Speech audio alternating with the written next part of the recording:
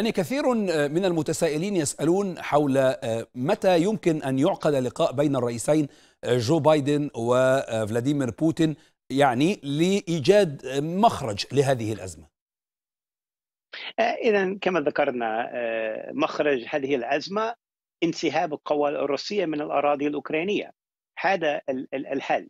إذا نحن نرى أن هناك أي فائدة من أي لقاء بين الرئيس بايدن وأي مسؤول أي شخص أي زعيم آخر في العالم نحن لن نتردد. ورئيس بايدن هو قال إن إذا هناك مثلا لدينا بعض الأمريكيين المعتقلين بدون تبرير في روسيا وإذا هناك أي إمكانية لإفراج سرح عنهم من أي اجتماع أو أي لقاء بين رئيس بايدن ورئيس بوتين. ممكن سنبحث عن ذلك. ولكن بالنسبة للملف الأوكراني وهذه الحرب ماذا الرئيس بايدن هو سيقول للرئيس بوتين لم نقولها منذ شهور قبل هذه الهرب. إذا كنا نتكلم قبل هذه الهرب حول توقعاتنا وكنا نقول أن نحن نبقى الباب مفتوحة للدبلوماسية ولكن في نهاية المطاف الرئيس بوتين هو الذي اختار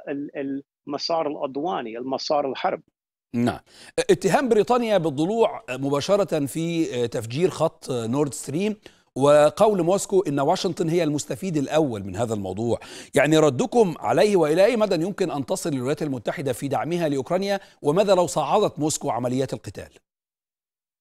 إذا بالنسبة هذا الأنابيب والتفجير في أنابيب نورد ستريم حتى الآن نحن نستنى التحقيقات والتفاصيل ولكن بدون شك ليس هناك أي روابط بين هذه التشجيرات والولايات المتحدة وفعلا شيء غريب جدا لنسمع هذه التهمات من روسيا لأن نحن رأينا بكل آسف مرارا وتكرارا عندما روسيا عندما الحكومة الروسية والرئيس بوتين يتهم أي شخص أو أي طرف آخر من شيء ممكن هم يعمل ذلك. إذا نحن نعرف النهج هنا وبالنسبة الموقف بشكل عام الولايات المتحدة كما قال الرئيس بايدن الولايات المتحدة ستستمر في تقديم الدعم العسكرية والدفاعية وإنسانية واقتصادية للحكومه وهي حكومة منتخبة حكومة أوكرانية وهذا البلد الأوكرانية لديها سيادة. ولذلك الولايات المتحدة ستدافع عن حقهم ليعيش في بلدانهم في بلدهم. نعم.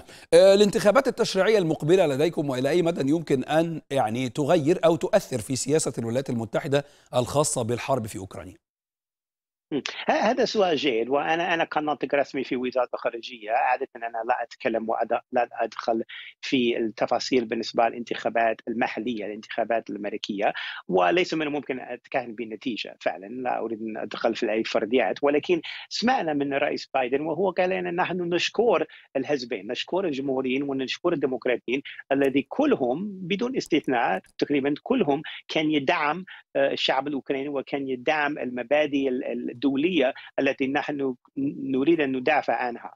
اذا نحن نتوقع أن بالرغم من أي سيناريو من الانتخابات أو أي نتيجة من الانتخابات من النتائج نحن سنستمر في هذا الدعم ونحن سنستمر في التنسيق والتعاون مع حلفائنا في الاتحاد الأوروبي وحلف شمال الاطلسي ناتو والآخرين لتقديم هذا الدعم اللازم للشعب الأوكراني. نعم